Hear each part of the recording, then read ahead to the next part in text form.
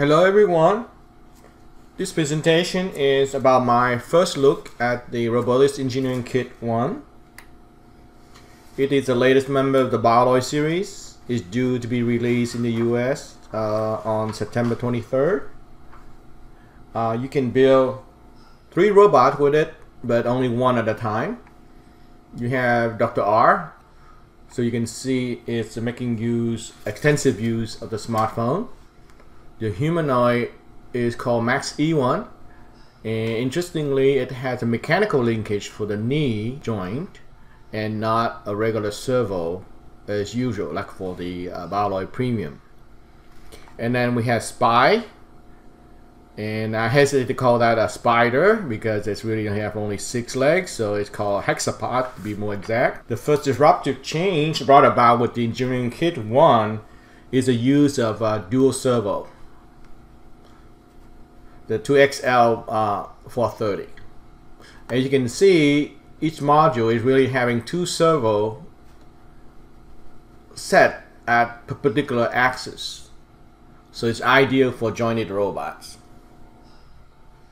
All servo use magnetic encoder, so you have full 360 degree control at 12 bit resolution. All metal gears are used, so more precision and, and better thermal control also. A single servo is also available, XL430 for 50. And then there's another one called XC430 series if you need higher torque. It costs about uh, 100.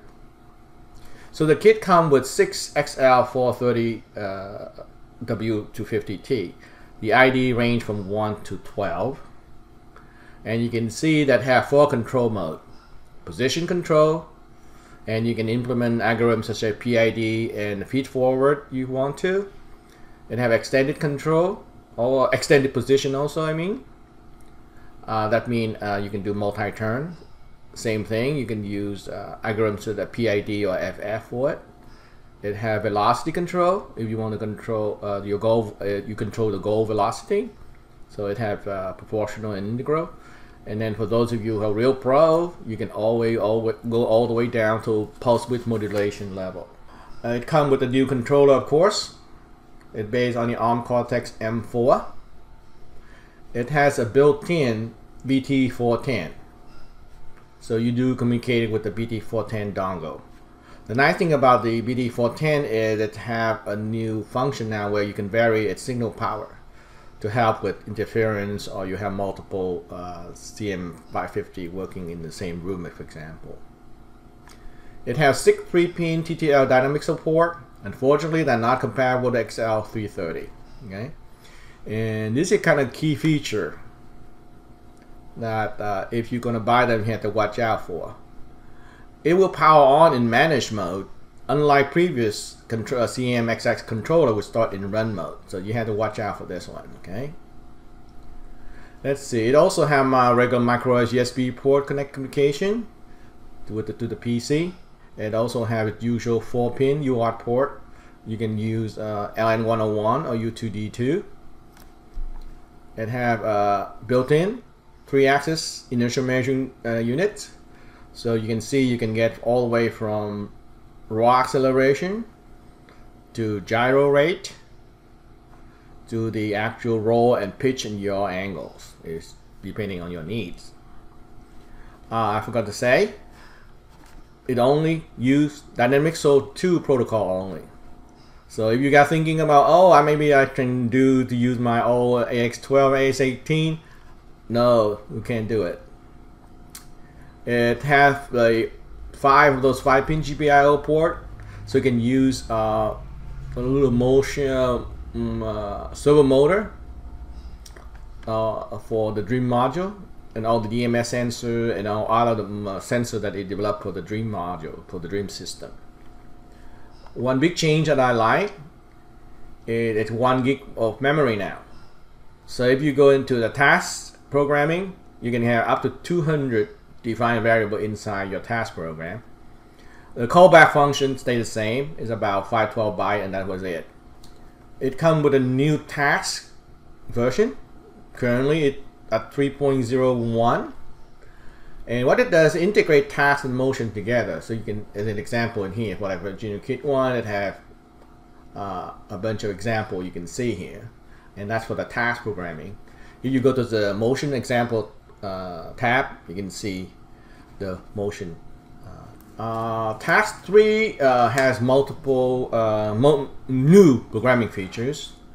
for all controllers, we have a new multi-compute statement now and this is new and I like a lot too. You have access to motion list. You can see the default group that being uh, downloaded to your robot. And the nice thing about it used to be that we only know about the motion index numbers.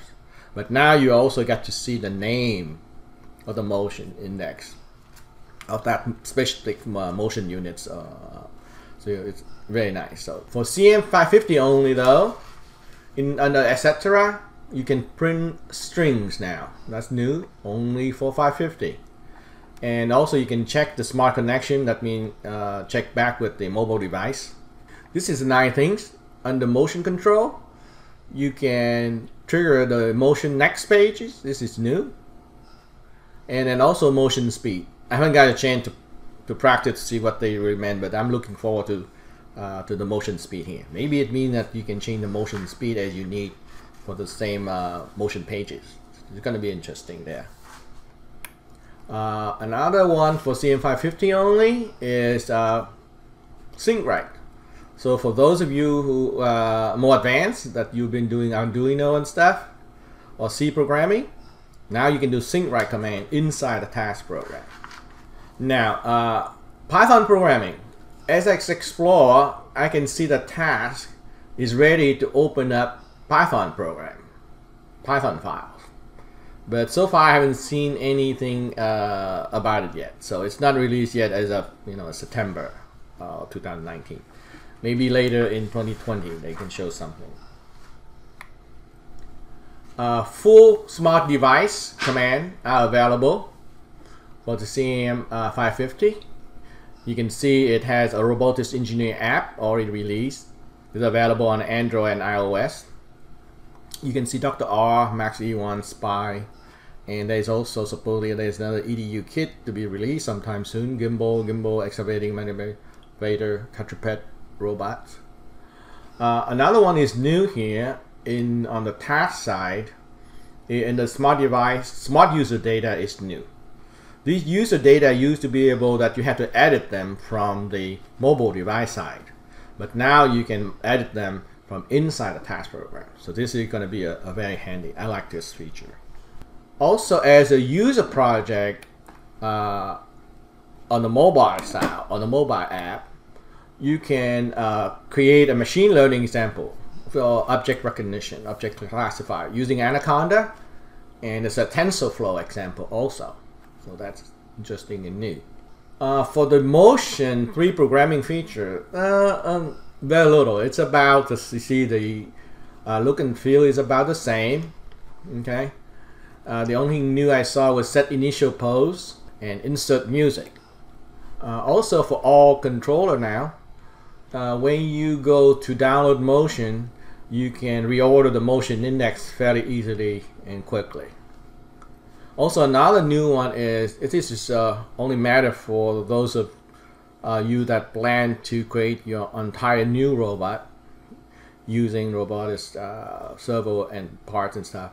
What it does, you can insert a landscape or a, shall we say a background for your user project, and then uh, you can put little picture or icon for all the various servo at the location where you actually designing your robot for.